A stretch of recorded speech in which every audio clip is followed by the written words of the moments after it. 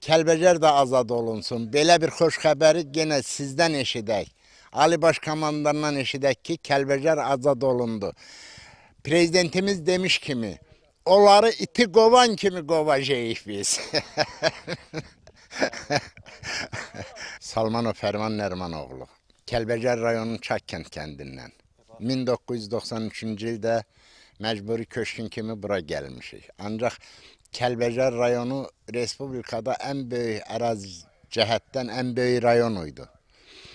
Həm də Kəlbəcər rayonunun sərvətləri çoxdur. Qızıl mədəni, isti su, civə zavodu, belə-belə sərvətlərlə zəngin olan bir rayon idi Kəlbəcər. Kəlbəcərdə elə bir ailə yoxdur ki, orada orada ya girov qalmasın, ya şəhid olmasın. Elə mən elə bilirəm ki, ikinci bir ailə yoxdur da.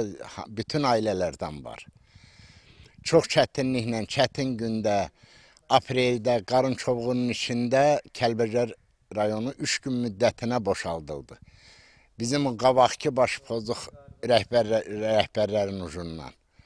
Heç bir kömək verilmədi Kəlbəcərə, heç bir kömək eləmədilər, ona görə də ermənilər aldılar Kəlbəcərə. Biz bu e, alınan rayonların xəbərini eşitdikcə biz də fərəhlənirik ki, o ora da bizim torpaqdır, Füzuli də bizimdir, Zəngilan da bizimdir, Cəbrayil də bizimdir.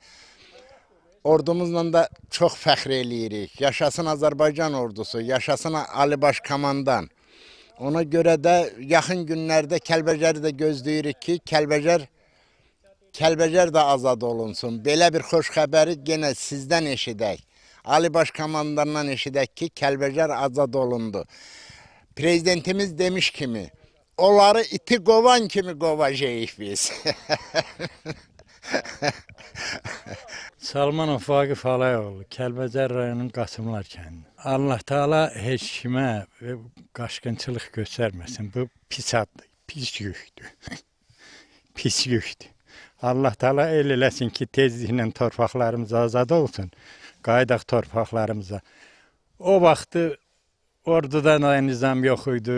Ölkədə yaxşı rəhbərlik yox idi. Pərakəndəli idi. Hərə bir dəstək yığırdı, bir şey eləyirdi. Ondan da o quldurlar istifadə elədi. Kəlbəcəri başqa rayonları işğal elədilər. İndi biz prezidentimizlə, ordumuzla fəxr eləyirik. Prezidentin sayəsində, prezidentin çox əziyyətli sayəsində nizam ordu yaradıldı. İndi torpaqlarımız şükür Allah alınır. Biz də gözləyirik ki, qayıdaq gedək öz yerimizə. Azərbaycan hamısı bizim yerimizdə, amma insan o doğulduğu torpaq ayrı şey.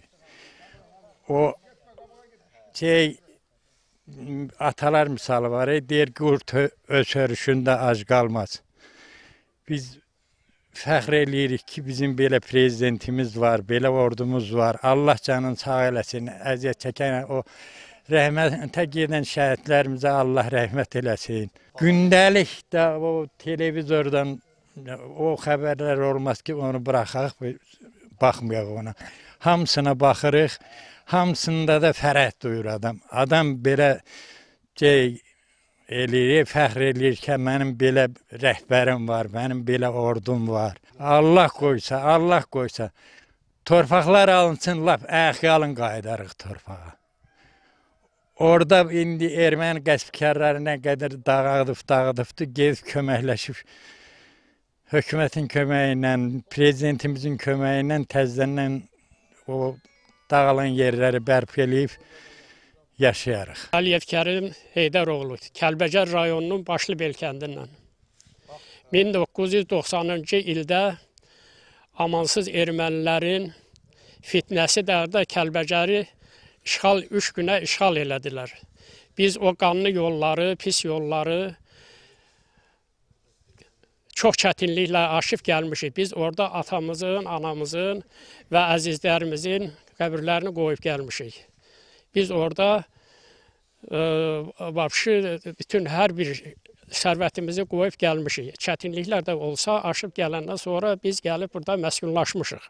Biz 28 ildir ki, Kəlbəcərsiz yaşayırıq. Gəldiyimiz bu yerə, düşdüyümüz yerdə yaxşı yaşayırıq və yaxşı yaşamışıq da e, hökumətlərimizin sayəsində. İndi biz hal-hazırda gedişatdan görürük ki, bütün torpaqlarımız alınır. Biz onunla fəxr eləyirik. Bütün hər bir cəhətdən fəxr eləyirik. Bizim gözəl ordumuz var. O vaxtki ordumuz deyil. Biz gözəl ordularımızın, güclü ordu, qüvvətli ordularımızın səbəbinə biz fəxr eləyirik. Bütün torpaqlarımız alınır. Sevinirik ki, biz öz torpaqlarımıza, alınan torpaqlarla bərabər öz torpaqlarımıza qayıdacağıq və orada diş yaşayacağıq. Biz prezidentimizlə fəxr eləyirik, gələcəyimizlə fəxr eləyirik. Yaşasın Azərbaycan.